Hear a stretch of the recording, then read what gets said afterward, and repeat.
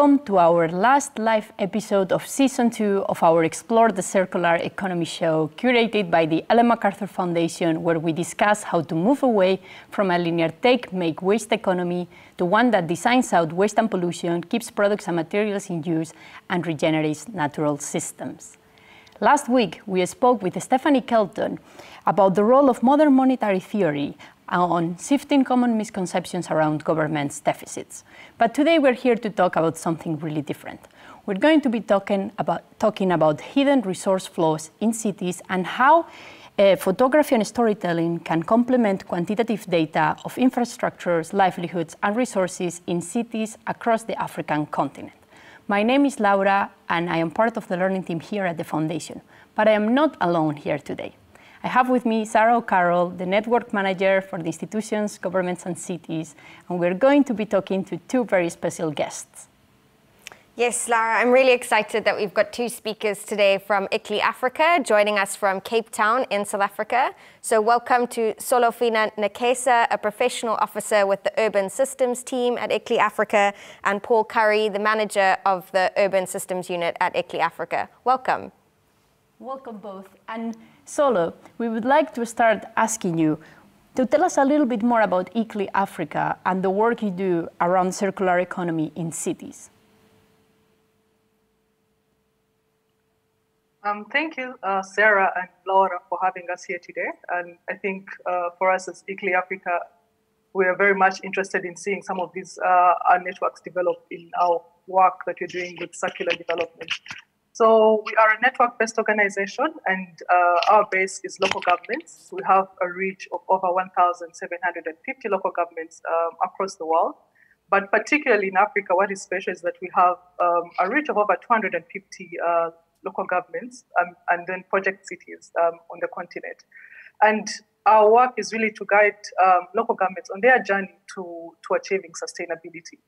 And we do this across um, five pathways and these offer the framework uh, for which um, we co-develop integrated solutions uh, alongside uh, with, with, with, our partners or with our project cities.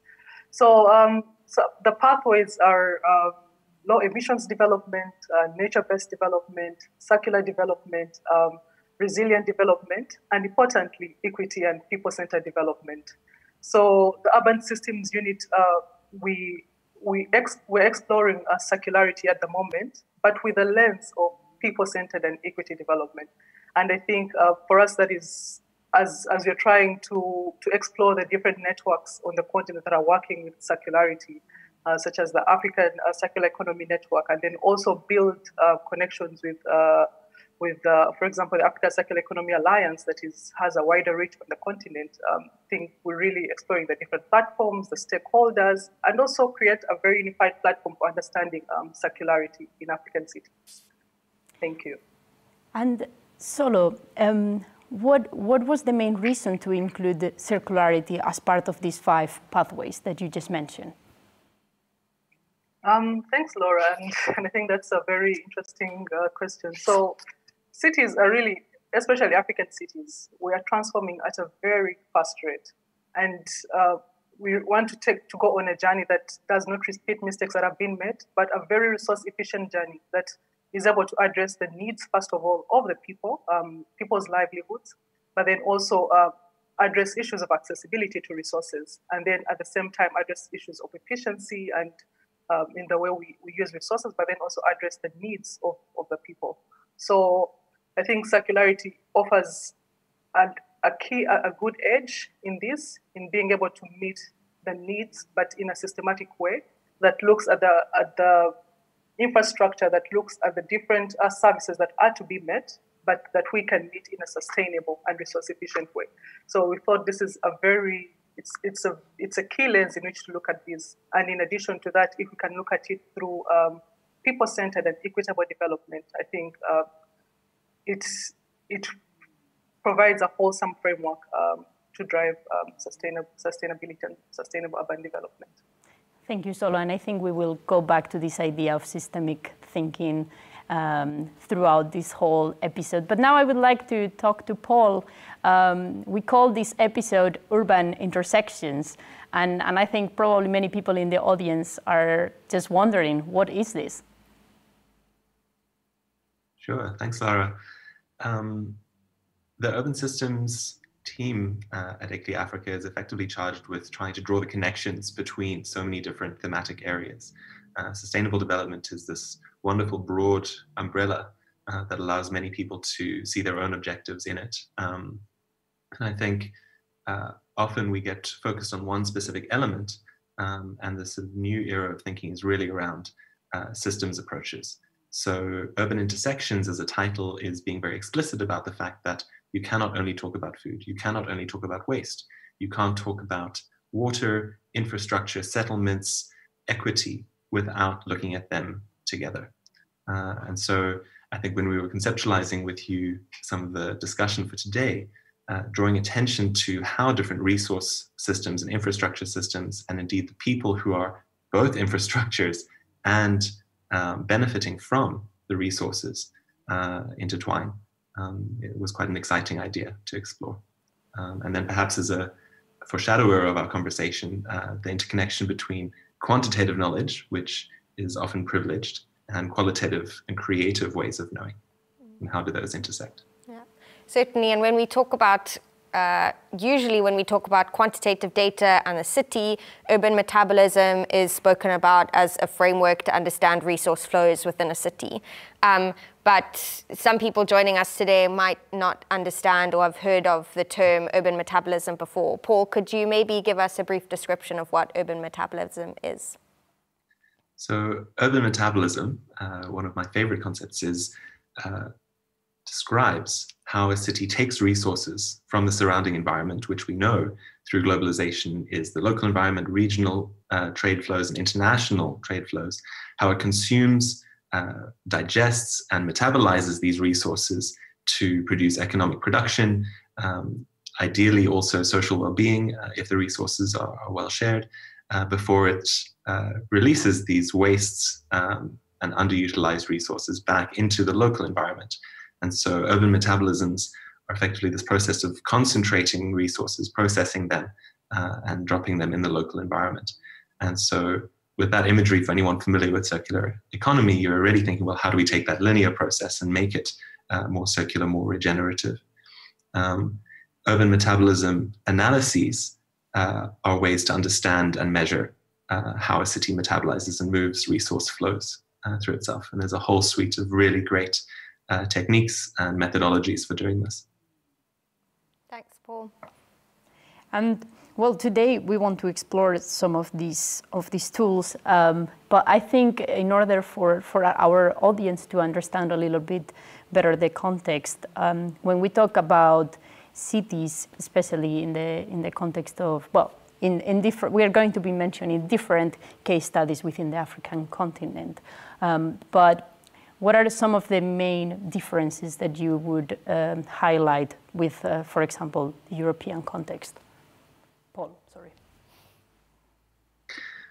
Well, I think as, as uh, Solo has mentioned uh, from the get go, the biggest difference for us is the entry point for thinking about sustainability. While it may have emerged uh, to remark about environmental protection and the need for environmental protection, um, for African urban context, you have to start with uh, service delivery. You're living in, in cities where uh, many of the population don't have access to basic resources, where if you were to rely on quantitative systems, we look positively efficient. We're not emitting that much, we're not consuming that much, uh, but actually we are not uh, equally accessing the resources we need for a high quality of life. And so the challenge for sustainable development in African cities is how do you provide that quality of life in a way that um, this is equitable but doesn't um, undermine the environment and ideally starts to regenerate the environment. As Solo has mentioned, we're growing incredibly fast, um, some of the fastest uh, cities, growing cities in the world. How do we uh, ensure that we're regenerating the resources that we're reliant on. Um, so, I mean, many, to elaborate, many of the urban trends that we're seeing are the rapid population growth, but large informal settlements where people don't have access either to land, tenure, or basic services. We've got a very large youth population, uh, which poses many opportunities but also challenges. Uh, we uh, have questions of, of ownership of the city or citizenship, where people uh, are moving between uh, spaces, um, looking for employment, uh, but maybe are more true to a rural homeland where they send remittances. So those are some of the dynamics we're seeing in African cities that you have to take on. Yeah. And Solo, in the world that we live in today, data, quantitative data is often, often prized as um, the uh, kind of the, the hero for decision making. Um, and in Africa, we often have challenges around uh, the qu quality of quantitative data and in some cases just kind of a lack of quantitative data. Um, could you comment a little bit on this kind of reliance on quantitative data for decision making and the role of qualitative data in that? You're, yeah. Thank you, Sarah. And that's that's that's a very interesting. Uh, that's a very interesting reflection because where there's no um, quantitative data, is there no information? You know, so does that mean that decisions won't be made because there's no um, quantitative data?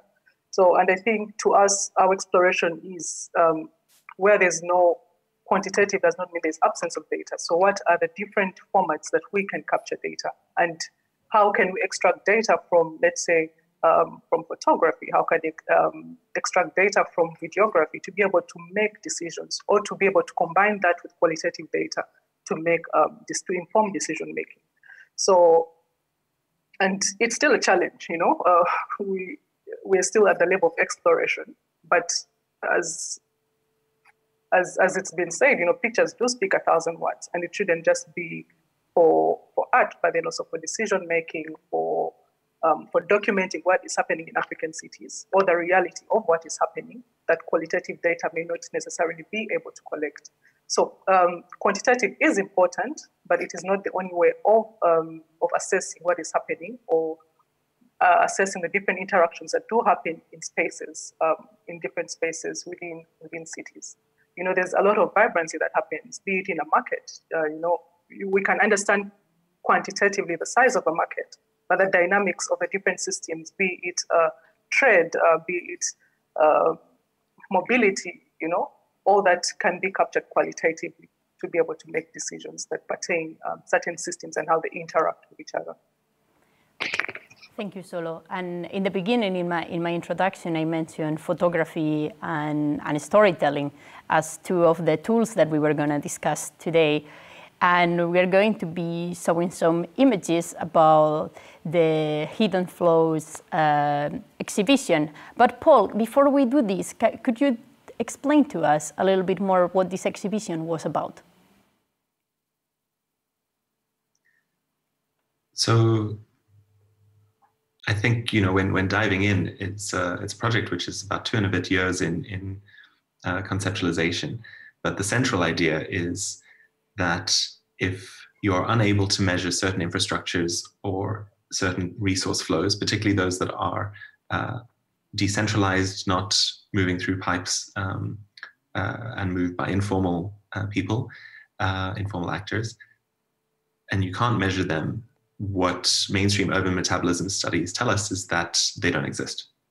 And so this means we're reinforcing patterns of urban planning um, and decision making, which uh, naturally are exclusive through no sort of fault of the people who are practicing them. Uh, but because we can't count certain things, we are unable to to uh, manage it. So the that's the central problem of the exhibition, which it tries to address by saying, well, observation and the inbuilt knowledge of those living in the city is just as valid as uh, coming in with uh, statistics, and they offer different ways of knowing, different ways of appreciating the value that these um, resources and the people offer to the city. So the exhibition aimed to ask uh, people on Instagram, photographers, uh, to share what their city looks like, to share how they get water, energy, food, uh, where their waste goes, uh, how they move around the city. Uh, and so we could get this kind of crowdsourced collection of images. And then we also um, sought uh, photographers from cities around the continent, which ended up being Cairo, Kampala, Bukavu in DRC, um, Ibadan, and Cape Town to reflect on some of the resource flows and, and what they mean. Um, and the idea is that if you can bring together this collection of imagery, uh, you can engage a conversation around it uh, and ideally draw out the key themes that policymakers already have sort of inbuilt and, and uh, in their minds. And you received, so, oh, sorry, Paul. Go ahead. Uh, I was going to mention just that you received over 600 uh, pictures. And if anyone is interested in seeing all of them, I recommend them to go to the website. We're going to be sharing the link uh, in the comments chat so everyone can see all of them. But I would like to bring uh, the first picture up for our audience. And in this photo, we have some boats and, and motorboats, and we are located uh, in the Democratic Republic of Congo, uh, close to the city of Bukavu. And Paul, you selected this photo for our audience. What, what made you select this photo? So, so this image uh, is by Esther Nsapu, um, and her story that she put together was uh, around the centrality of these large uh, and small boats uh, in connecting food uh, from around uh, the lake, uh, Lake Kivu, uh, to Bukavu, this, this town. And the remark is that it is faster to transport the food by boat than by the roads. And so that's a bit of the context for the story. Why the picture is powerful to me is this sweeping sense from lake to market to city behind it, and you can barely see the floor. And it is full and, and this connects very strongly with the sense of vibrance of, of African marketplaces, uh, but also of the importance and the reliance that many people have on these uh, flows of food uh, that come in. Um, you know, these are the ways, these are the supermarkets of many African cities. These are the ways that people get fresh produce um, and, and the ways that many people make uh, a living. So there's something vibrant and powerful about the image, which, which speaks to me. And I certainly, from, from looking at this image, I think it's also um, useful to note that the, the boats are transporting both food to the market as well as people across the lake and, and in between. And I think in terms of the circular economy, we often think of logistics just for either kind of products and goods or in terms of people. And here in the African context, you can see that there's this um, reliance on the same form of transport, um, the same boat for both people and goods. Absolutely. You know, and I, I think the kind of emergent nature of how resources move, you know, where there's an opportunity and it speaks to an adaptability of many informal systems and the informal economy to uh, to fill gaps, to uh, address needs uh, faster. And there are many people, you know, some who are not interested in definitions, uh, but who are, who are trying to suggest for decision making that we reframe this word informal. It is the majority economy, and the response to formalize might not really appreciate what's what's going on. Um, so you know the people who who are saying, well, it's makeshift economies, but also why is this different from the archetype of the man wearing a suit carrying a briefcase? Uh, why are we differentiating when in fact informal actors are private sector actors? They've sunk their personal equity uh, and labor into their enterprises. Mm. So if cities can take that mindset um, it, it, can appreciate, I think, some of the value uh, offered. I, I, personally really like, Paul, um, what you say about using the word private actors uh, versus informal actors. And, and I think it, it, really changes the way you look at things, uh, especially from, from a European uh, perspective or background. I think it, it, we really need to start working harder on, on making sure that we are using the right words in, in order to be able to see the, the huge uh, potential and impact of things happening in other places around the world. So thank you, Esther Nsapu, for this picture. I think it's time to move to our second image, Sarah. Yeah. So, um, Solo, I believe that you picked um, this image for us, um, and it's a wonderful image of a major bus terminal um, in Ghana. Um, and you can see that uh, what we might typically call a bus in, in Europe is certainly not the bus that is in this picture. Here we have minibus taxis, um, as they're called. Um, and all of these umbrellas around the minibus taxis are an, a, a, marketplace. Um, and so it's a wonderful image that shows kind of how closely trade and mobility um, are um, in this place. Um, and just kind of the, the volume of minibus taxis and umbrellas. So all of these different little shops um, that are operating um, in this place. Um, Solo, why did you choose this image for us? And, and you begin to even touch upon uh, some of the some of the issues in that image that I think really do speak strongly. It's so the image really does speak of multiple systems, you know, and to me that is a hub. You know, it's it is a transportation hub, but then at the same time, it is a commerce, retail, and marketing hub. So, and what you see is that the retail that happens around the transportation is really heavily reliant on the volumes of people that move uh, towards the transport. So, though of course, in such a system, what you don't see sometimes is, let's say, what happens on a rainy day. You know, what does the sanitation look like? What does the water systems look like? But then what you get to appreciate is that in terms of accessibility, you know, it offers a lot of variety of options for the city dwellers that use the transportation hub to access their basic needs. And then also in terms of flexibility, you know, it offers um, a lot of options for traders to be able to to set up and go uh, as quickly as possible, you know, whenever the need uh, demands or whenever income or whenever different opportunities arise or even flexibility in terms of the way they're setting up their stalls as close as possible to the to the to their market or the way they're setting up their stall structure, you know, to match to match to match their needs or to match what they, they're able to, to, to, to afford. Though sometimes you see that in when it's times to up to upgrade or to formalize, like Paul uh, talked about earlier, all these systems are not paid attention to. So in, in formalizing, they'll set up a shopping mall, but then the shopping mall is not cognizant of the fact that you have to address issues of accessibility. Who can afford to rent in that shopping mall, or how close are um, the different people to their market? So to me, it shows a reality, but then in terms of planning, you know, that is where sometimes the clash does comes in.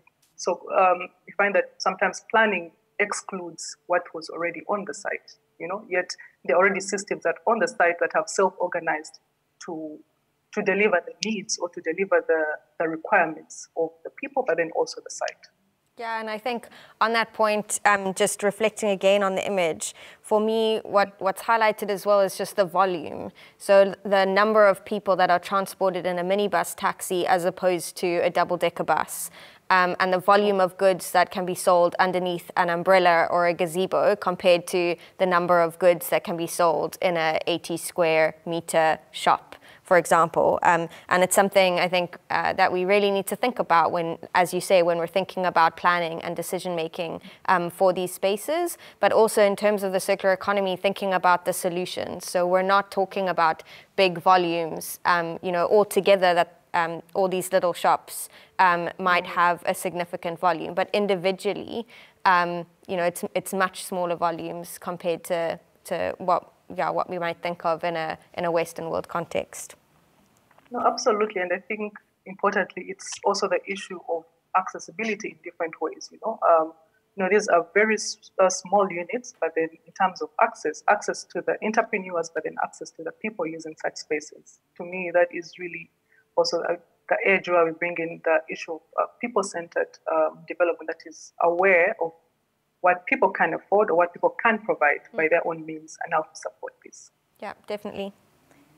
Thank you, Solo. And Sarah, we have time for one more photo that uh, you selected from Khatum Babadru.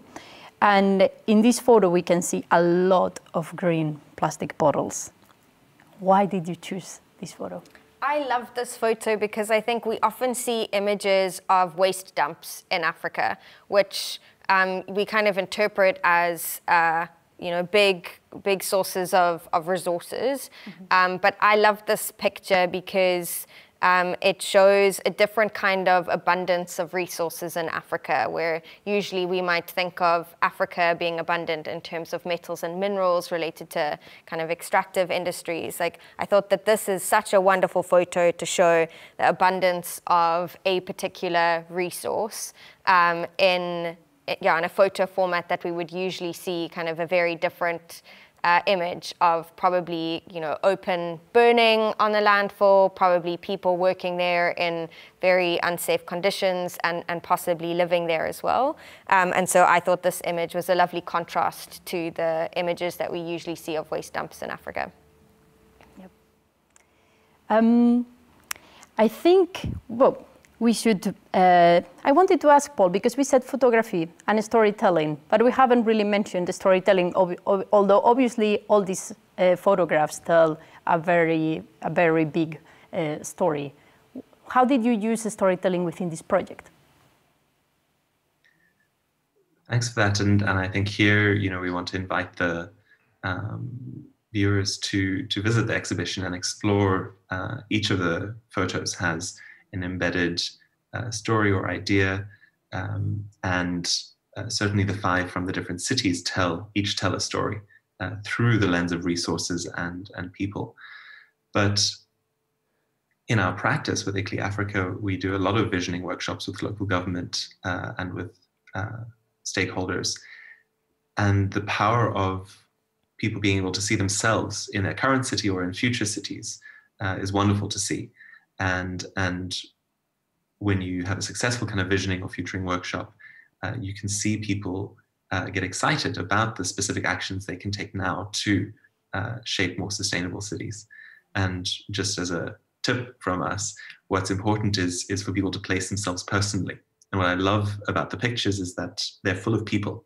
If if you mentioned a, an exhibition on resources, I think most people would, would picture stuff, material, mining, uh, extraction. And every one of the pictures in this exhibition has people as the center. And I think that's really telling for the types of landscapes and cities we have in Africa. Um, and similarly with storytelling, if you ask someone to describe their city in 2040, you will hear about what it looks like and the infrastructure, the pipes, the way things move. But if you ask them to say, well, how old will you be in 2040? Uh, do you have children or niece or nephew? How old will they be? And describe their day then you get these very rich tellings of interactions uh, and intersections in the city. Uh, I know we're running to the end, so I just need to say a very important acknowledgement to the whole process of this, which is uh, to acknowledge our partners uh, at Stellenbosch University and the Center for Complex Systems in Transition, uh, as well as uh, the Kwame Nkrumah University of Science and Technology, um, and this piece of work, which was really entrusted to us to deliver in an interesting way, uh, was funded by the leading integrated research uh, in Africa 2030 uh, grant. So those are my acknowledgements before we pause. Thanks, Paul. Um, Solo, maybe you could help us answer a question that's come through um, from the audience from Linus on LinkedIn. Um, thinks the, this uh, exhibition as a conversation starter is really, really great. Um, and so very kind of complimentary um, to that. Well done. Um, but is interested to understand buy-in from local government around using photographs like this um, for policy dialogues and for policy making. Um, and so maybe you can answer that question in relation to like what next after after the exhibition um, and if policy dialogues is, is part of this process. Um, thank you, Sarah. And I'd like to just say that this is very much an exploratory process, you know, but then exploratory in a way that it's touching on the pertinent issues happening. So in conversations with local governments, maybe it's also a challenge to us to, to start shifting conversations about what they don't have, but then sort of starting with what is present or what is currently happening. And this can be backed visually. And then from there, we kind of start making the, start making the steps towards uh, how to work with, uh, let's say, qualitative methods or other forms of quantitative to be able to, to make very informed decisions. So to us, it's, uh, it's, it's very exploratory, even in our engagements with our partners or with the different cities. But to me, it is a conversation starter because it talks about what is present and what can be seen and related to as Paul, uh, as Paul mentioned. Thank you.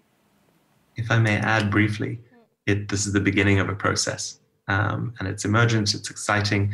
We need both quantitative information, uh, but also to challenge uh, our local government uh, officers uh, with what the data is telling them and say, well, does this represent what these images share? So this is the beginning of a series of uh, policy dialogues, as Solo mentioned. Um, so uh, we hope you'll stay tuned and, and possibly join them, given many of them will have to be virtual.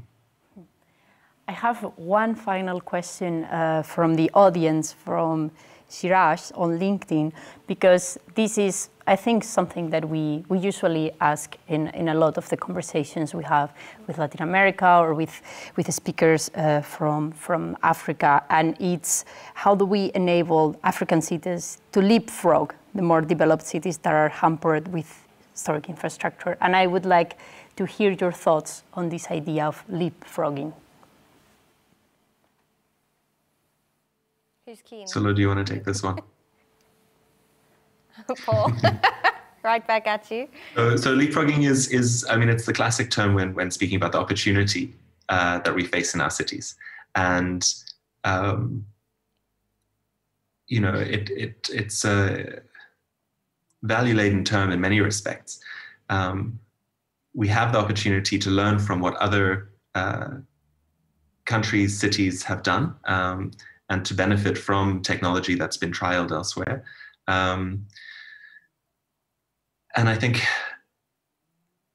getting people on board with the doing of the leapfrogging can be very difficult because a lot of the technologies that we're promoting are decentralized. Uh, they may not look as pretty. They may not have the same aspirational quality as the networked infrastructures that we're used to. And so, uh, our challenge is how do we mainstream these without them, for example, being experimented on in, in informal spaces or experimenting on poor. Um, with this, for example, you know, a fantastic uh, composting toilet. How do we get the composting toilet to work in a way that's actually appealing uh, to the aspirations of people living in a space who want centralized infrastructure? And so I think we, as development practitioners, owe it to uh, our cities to ensure that quality of life is thought of when we talk about leapfrogging. So a lot of potential, but it has to be done um, in appropriate manners. I think that's a great answer. Thanks, Paul. Thanks, Paul. Thanks, Solo, for for being here with us today. And thanks, Sarah, for co hosting this episode with me. I would like to thank you at home uh, for watching. As I said in the beginning, this was our last live episode of season two of the Explore the Circular Economy show.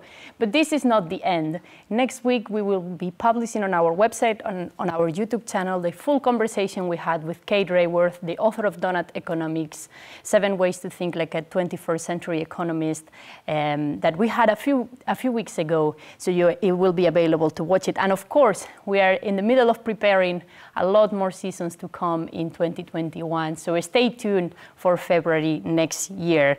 I would like to thank all of you for following us throughout the whole season and for sending us all your questions and comments. And remember that you can catch up on any episodes that you may have missed on, on both our websites and our, on our YouTube channel. And we look forward to seeing you in 2021.